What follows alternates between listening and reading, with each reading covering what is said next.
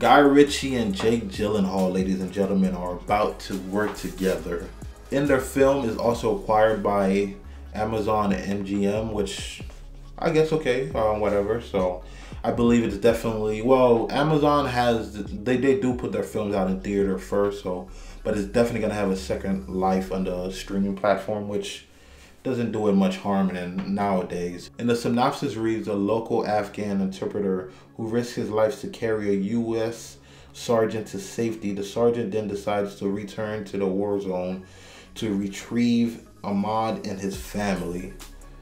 Um, okay, it doesn't sound like anything I've haven't heard recently. It's very yeah, we've seen a bunch of movies with this type of uh, premise and stuff like that. But what excites me is your lead actor and Jake Gyllenhaal and uh, Guy Ritchie, who has a particular style when he does his films. He doesn't follow your, your typical way of directing.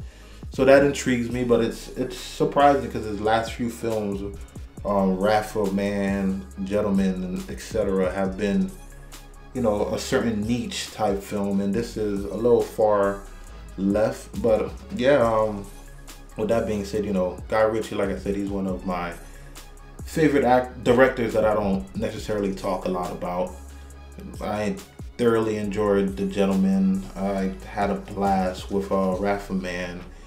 You know, um, Snatch is one of the OGs. And then you have Jake Gyllenhaal, who, in my opinion, is one of the best working actors. Who he's a chameleon, man. He could transform into any role you need this guy to be. You need him to be a sadistic uh, killer. He, will be that. You need him to be a grounded, tough, and investigator.